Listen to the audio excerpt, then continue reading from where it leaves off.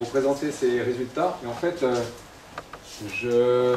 bon, déjà, je vais parler en français, puisque je vois que tout le monde parle en français. Donc, euh, j'avais plutôt préparé mentalement pour parler en anglais. Mais... Et en fait, je ne suis pas du tout un spécialiste des réseaux sociaux. Hein, donc, je tiens à vous annoncer. En cas, si vous posez des questions de technique, d'analyse, j'ai essayé de, comprendre avec mes collègues. En fait, je vais vous présenter des données que j'ai récoltées avec Mathias Kölliker et Heinz Richner quand j'étais en postdoc il y a bien longtemps. Et en fait, en discutant avec euh, Nick Royal, Thomas Pike et Matthias Kölliker, on a réalisé qu'on avait des données, on avait accumulé des données qui pouvaient être analysées dans, dans le contexte de réseau social. Et donc euh, euh, cet article est arrivé un peu comme la cerise sur le gâteau, génial, sur des données qu'on avait récoltées il y a environ une quinzaine d'années. Donc ça fait toujours plaisir. Et me voilà invité à une présentation sur les réseaux sociaux, c'est comme quoi c'est toujours intéressant. Bon, j'espère que ceci dit, je vais gérer la, les aspects conceptuels. Donc en fait, je travaille principalement sur les aspects d'investissement parental, relations familiales, et on se place évidemment dans le contexte de, de la théorie de, de, principe de Hamilton, où en fait l'investissement parental peut être considéré comme un comportement altruiste. Les individus vont investir du temps et des ressources pour élever des jeunes qui font partie de leur fitness. Et en fait, ils sont apparentés aux jeunes euh, à un certain degré d'apparentement. Et euh, donc l'évolution de ces traits euh, altruistes va dépendre donc de la relation de coût et bénéfice modulée par le degré d'apparentement entre individus. Et donc, il y a aussi un autre concept important, c'est la notion de conflit. Il y a un conflit entre les parents et les jeunes au niveau de la quantité d'investissement que les différents partenaires de cette interaction veulent faire. Les parents vont être sélectionnés pour euh, euh, l'optimum d'investissement pour les parents et en fait moindre que l'optimum d'investissement pour les jeunes. Donc en fait, il y a un conflit. C'est-à-dire les jeunes vont toujours être sélectionnés pour demander aux parents de faire un investissement supérieur et les parents vont être sélectionnés pour résister à cette, euh, cet effort de, manipulation de la part des jeunes. Donc on s'attend en fait à un conflit entre les parents et les jeunes. Et ce qui nous intéresse, c'est d'essayer de comprendre quels sont les mécanismes qui euh, permettent de résoudre ce conflit d'un point de vue comportemental, d'un point de vue évolutif. Alors, euh, c'est comme ça qu'on explique en fait l'évolution de, signalisation entre les parents et les jeunes. Les jeunes vont évoluer des morphologies euh, des comportements et qui vont en fait euh, influencer les parents à leur apporter plus de nourriture. Alors par exemple, ça peut être des morphologies qui augmentent leur détectabilité, ou bien ça peut être des signaux de conditions ou de besoins pour les jeunes. Alors je vous illustre un exemple qu'on a découvert. On a trouvé en fait que les jeunes oisillons chez deux espèces d'oiseaux, les martinets alpins et les étourneaux, en fait reflètent dans les UV, ultraviolets, chose que nous on ne voit pas, et les parents, en fait, tiennent compte, ces signaux dans les ultraviolets, en fait, sont associés à la qualité des jeunes. Ça, c'est les deuxièmes pentes et les premières pentes. Vous voyez qu'il y, a une différence euh, de saisonnière. Et en fait, en gros, euh, plus les jeunes sont en bonne condition, plus ils vont refléter dans les UV. Donc, une, euh, on a montré que les parents vont tenir compte de cette réflectance dans les UV pour décider quel jeune nourrir. En fait, ici, c'est une réponse conditionnelle des parents avec la saison. C'est-à-dire, plus la saison avance, plus les parents vont montrer une préférence de nourrir les jeunes qui reflètent plus dans les ultraviolets. Donc, la perception des parents et leur préférence pour ce signal change avec la saison. Alors, c'est ça, il y a beaucoup d'études qui regardent les signaux de quémandage et de qualité des jeunes au niveau individuel. Maintenant, la question, c'est qu'en fait, vous avez une nichée ici, vous avez plusieurs jeunes dans le nid qui vont interagir entre eux et qui peuvent influencer le comportement des parents. Alors, c'est de là qu'est venue l'idée justement d'analyser ces, familles d'oiseaux comme des réseaux sociaux.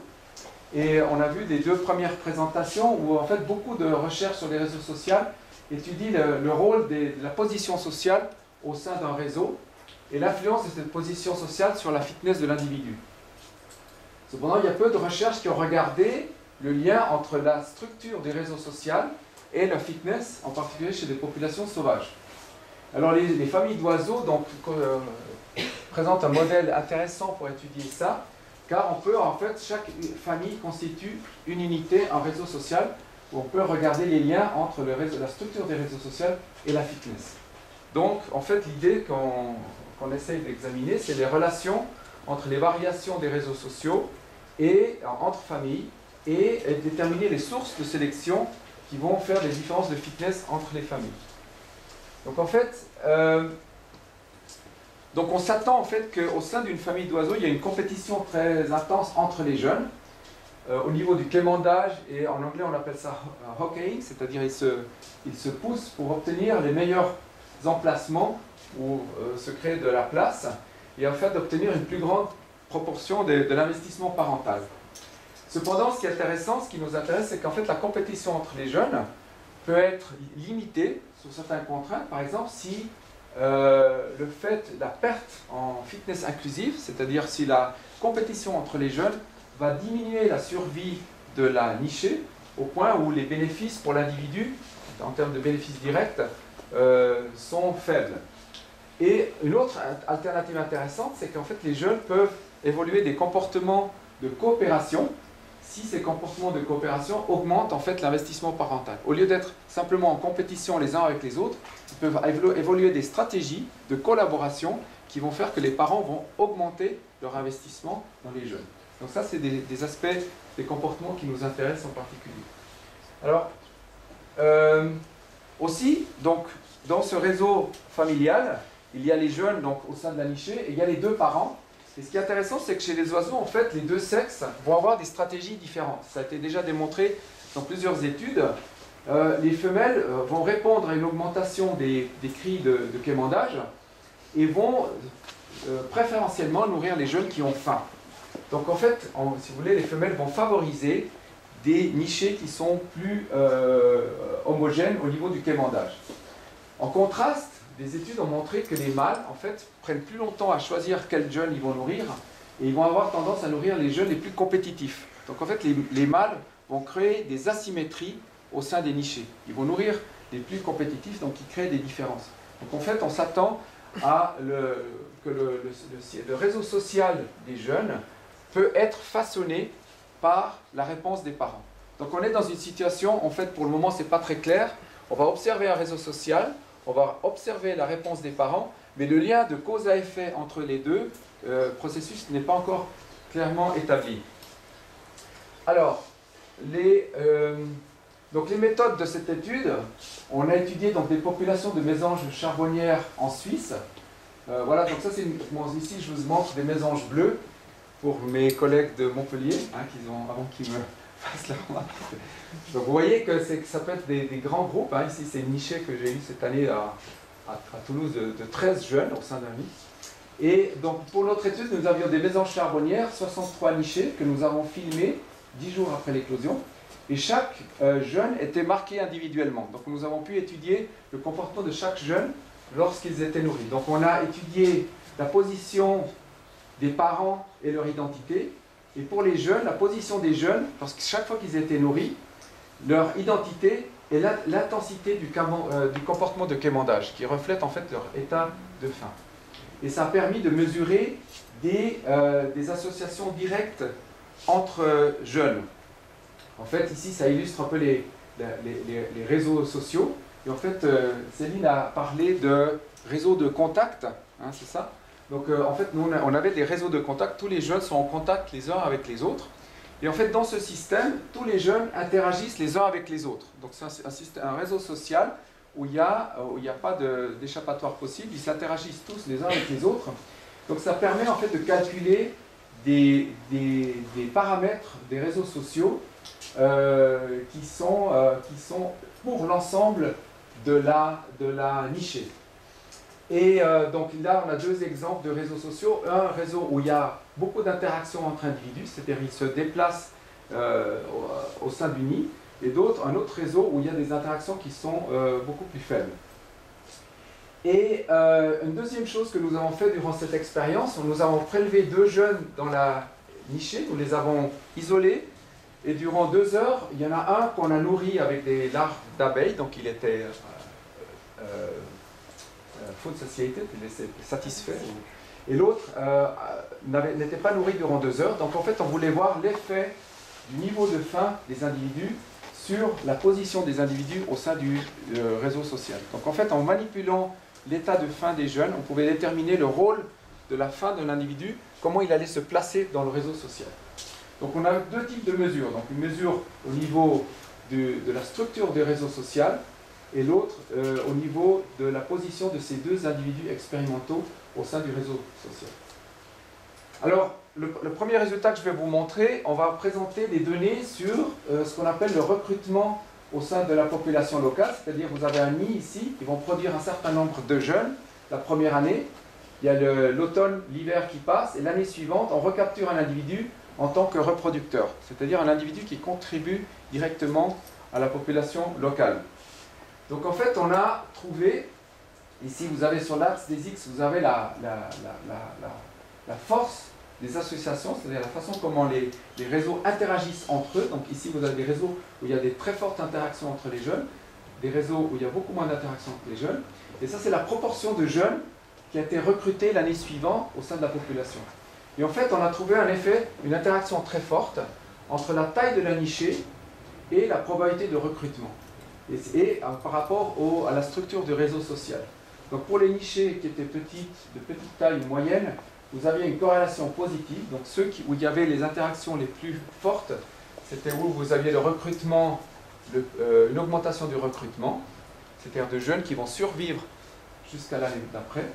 Par contre, dans les grandes nichées, vous aviez en fait une relation négative. Donc ceci dit que euh, ça indique en fait que la structuration du réseau social au sein des nichés euh, va avoir une influence déjà sur la probabilité de recrutement, et cette influence de euh, probabilité de recrutement va dépendre du nombre de jeunes qui est dans la nichée. Et en fait, il y a d'autres facteurs qui, qui, ont été, qui sont importants. C'est la masse des jeunes au jour 10. Alors chez les passereaux, c'est très connu.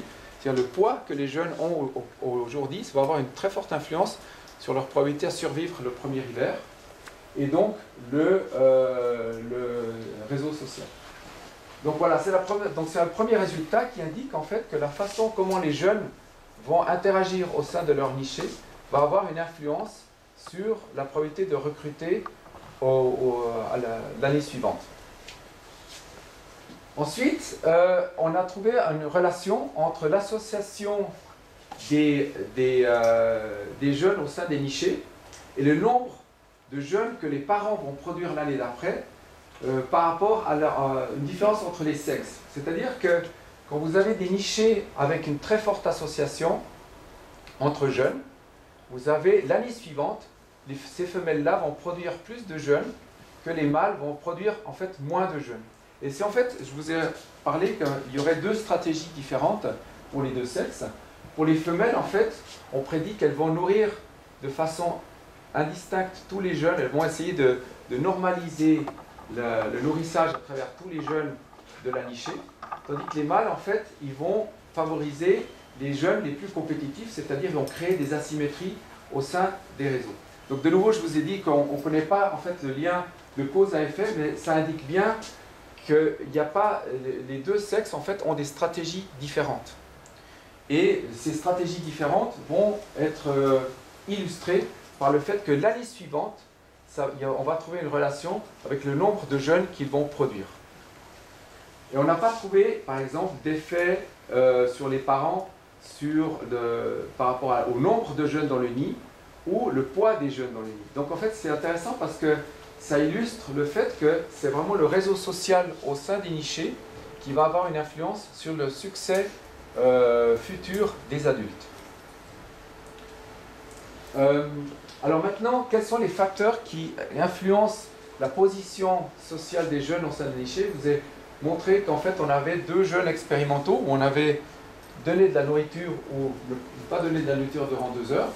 Et donc on a montré que ceux qui avaient été déprivés de nourriture euh, présentaient une, des, fortes associations. Ils devenaient plus grégaires, c'est-à-dire ils se déplaçaient, déplaçaient au sein du nid pour trouver la position euh, où ils vont obtenir le plus de nourriture. Et pour des cas, les jeunes qui sont euh, qui sont n'ont pas reçu de nourriture, en fait, ils vont s'approcher de la position où se trouve en général la femelle, parce que les, adultes au sein des nids vont toujours adopter des positions qui sont fixes. Donc la femelle va nourrir les jeunes toujours au même endroit, le mâle au même endroit. Donc ces jeunes-là vont se déplacer pour se retrouver en face des femelles. Là, là, évidemment, on a trouvé une corrélation positive entre la taille de la nichée et euh, la, position des jeunes au sein des nichés parce que plus le nombre de jeunes au sein de, est important au sein des nichés, plus ça va influencer ce paramètre euh, de la position dans le, réseau social. Et en fait, on avait aussi sexé les jeunes dans les nichés avec des marqueurs moléculaires. Et on avait trouvé que les mâles avaient des comportements plus grégaires que les femelles. Donc ça c'est encore, euh, j'ai marqué ça avec un point d'interrogation. Peut-être qu'il y avait un effet corporel. En tout cas, il y avait un dimorphisme sexuel sur placement des jeunes mâles au sein des nichés. Et ce qui est intéressant, c'est que le poids des jeunes en soi, un paramètre qu'on aurait imaginé qui était évident, qui peut être assimilé par exemple à la capacité des jeunes euh, de, de, de, déplacer les autres, n'est pas n'était pas, pas retenu dans le modèle statistique, n'intervenait pas dans la position des jeunes au sein des réseaux. Donc vraiment, ce qui est intéressant ici, c'est de retenir, c'est en fait le, niveau de fin des jeunes va déterminer où est-ce qu'ils vont se placer dans ce réseau. Alors, ensuite, nous avons regardé le lien entre le comportement de quémandage et la structure du réseau social. Et là, nous avons trouvé une relation positive entre ce qu'ils ont appelé l'evenness, le, le, c'est-à-dire, je ne sais pas comment tu traduis la evenness en français, la, c'est, enfin, tu sais, hétérogène ou c'est even? Even, c'est euh, homogène. homogène. Voilà, l'homogénéité de l'intensité de quémandage. Donc, plus la, le quémandage est homogène, plus le réseau social est fort. C'est-à-dire que plus les jeunes vont euh, quémander à la même intensité, plus le, le, la structure du réseau social va être forte. Donc dès que ça, rejoint l'idée en fait que vous avez le, niveau de fin de tous les jeunes va être homogène et ça va faire que le réseau, la structure du réseau social va augmenter en intensité. Donc en fait ça indique justement ce lien entre, vous voyez qu'il y a un lien entre les stratégies d'alimentation des parents, le comportement de quémandage des jeunes et la structure de réseau social qui va se construire. Et en fait, cette corrélation positive suggérerait en fait que c'est les mères qui contrôlent principalement l'alimentation des jeunes. En fait, quand on dit contrôle principalement, il faut savoir que chez les passereaux, il y a les deux sexes qui nourrissent les jeunes, les mâles et les femelles. Contrôler principalement, c'est-à-dire c'est elle qui amène la plus, la, une proportion plus importante de nourrissage aux jeunes, et celle qui contrôle qui vont avoir un rôle sur la structuration du réseau social. Et c'est ce qu'on s'attend en fait. Les femelles vont distribuer la nourriture de façon homogène, et comme ça vous avez un taux de quémandage au sein des nichés qui va être homogène. Donc c'est pour ça qu'on dit euh, c'est en fait euh, le, c'est contrôlé principalement par les femelles. Alors les, euh, ce qui est intéressant, c'est que l'intensité des, de quémandage des, des nichés, euh, l'intensité moyenne était en fait déterminée par les taux de nourrissage des mâles. Alors c'est intéressant, vous avez l'evenness, qui, est, qui, est, influencé par le taux de nourrissage des, des femelles, elle distribue les nourritures euh, au sein de tous les jeunes. Mais ensuite l'intensité, c'est le niveau moyen d'intensité, ça c'est déterminé si le mâle travaille beaucoup ou pas. S'il travaille beaucoup, il apporte beaucoup de nourriture, les jeunes vont moins quémander. Hein. Et donc, c'est ce que marqué ici, the, le, plus le mâle travaille, moins les jeunes au sein de la nichée euh, quémandent. Donc, vous il y a deux mécanismes. Il y a la femelle qui distribue de façon homogène au sein de la nichée, relativement par rapport au mâle, et ensuite le mâle qui rapporte, qui apporte le surplus, qui va déterminer le taux de quémandage. Donc, on assume le niveau de faim des jeunes au sein de la nichée. Euh,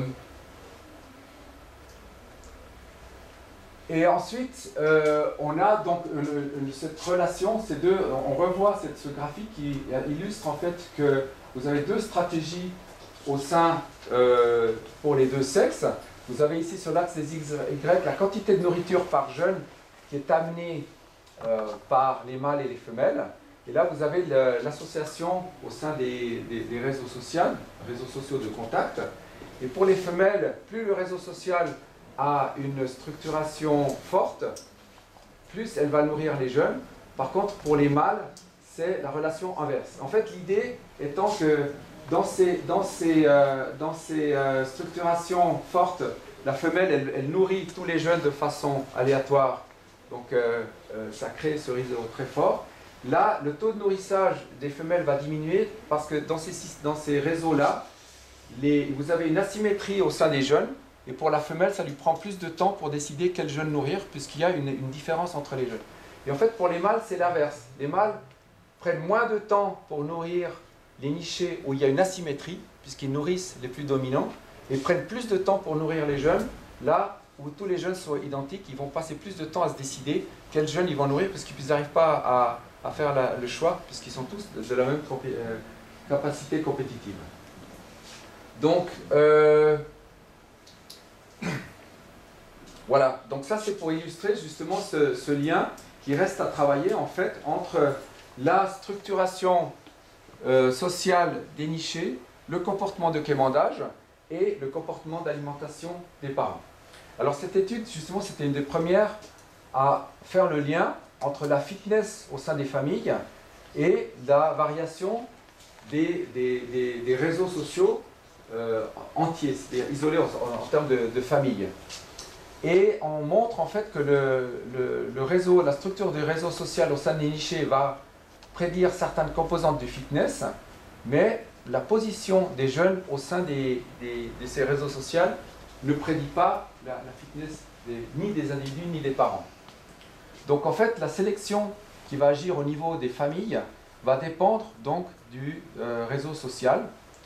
Et euh, en fait, on propose dans la discussion que comme il y a un effet de la taille de la nichée, on sait que c'est un caractère héritable au sein des populations, alors le réseau social pourrait avoir une base héritable et euh, ces structures de famille pourraient évoluer euh, dans le temps. Et en fait, en association avec les stratégies qui sont utilisées par les deux sexes quand ils nourrissent leurs jeunes. Voilà, avec ça, je vous remercie.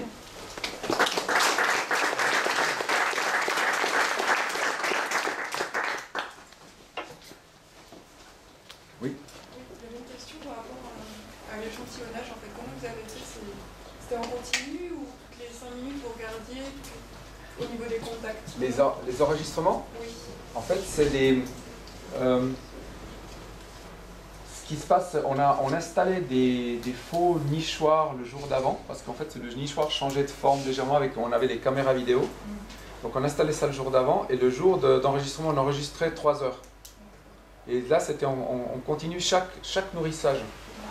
Donc chaque nourrissage était euh, enregistré comme euh, donc on regardait la position des jeunes au, moment de chaque nourrissage. C'est juste au moment du nourrissage. après, quand il n'y avait plus de parents qui venaient nourrir, vous ne gardiez pas les contacts entre les petits? En fait, il ne se passe pas grand-chose euh, entre... Euh, enfin, non mais, il y a un nourrissage, tout d'un coup il y a un jeune, ça, faisait un peu comme un... Comment dire Comme un... il tournait en fait. Il tournait. Il tournait sur place et il se relayait pour les différentes places en fait. Euh, mais en fait, il faut savoir que les mésanges, euh, sur une heure, on avait une quinzaine de nourrissages. Donc ça, va, tourne quand même relativement vite. Donc c'est pas juste un nourrissage par heure. Quoi. Voilà. Après, ce qui est intéressant, euh, c'est que ce sont des jeunes qui sont encore pas complètement développés, et donc au, jour 10. Et donc, il n'y a pas, par exemple, d'agression, c'est vraiment juste ce qu'ils appellent jockeying, en fait, en anglais, c'est ils se poussent pour se placer, en fait, voilà. Mais ce qui était étonnant, c'est le fait que, enfin, ce qu'il ce faudrait retenir de, cette étude, c'est le fait que la façon comme les jeunes interagissent, déjà, c'est pas complètement au hasard. Il y a de la énorme variation au sein des populations, et la façon comment les, les mâles et les femelles vont les nourrir va influencer ce, ce, réseau. Maintenant, quel est lien de, le lien de cause à effet euh, En fait, il faut, ce qu'il faudrait faire, c'est faire des échanges de jeunes entre parents, par exemple, pour, euh, pour, euh, pour examiner par exemple l'héritabilité de ces réseaux sociaux par exemple. Au dès, dès l'éclosion, voir comment si ça se met en place Oui, mais alors, je ne sais pas si on peut faire des prédictions sur le changement dans le temps en fait. Pourquoi ça devrait vraiment changer? Disons, nous on a pris cet âge-là parce que dans la courbe de croissance, c'est le moment où, où, il y a les demandes les plus importantes. Donc c'est là où on s'attend de, de, voir ces, ces, ces effets. Ouais. Et après, quand ils sont plus développés, alors là, ils se déplacent, enfin, ils, commencent à bouger un peu dans, tout le nichoir. Donc là, on peut avoir d'autres mécanismes qui entrent en ligne de compte. Oui? Uh, it seems, uh, uh, I have to speak in English. Sure, fine. It seems that uh, uh, male and female have a different kind of uh, ability in recognize uh, stability of the network of the pups. So if uh, the network is really unstable, there are some individual, uh, some young that uh, are stronger in the network. Male will feed more, but when the network will, of association will become uh, more stable, more evenness, so more equirepartite, uh, more homogeneous, so female will feed more.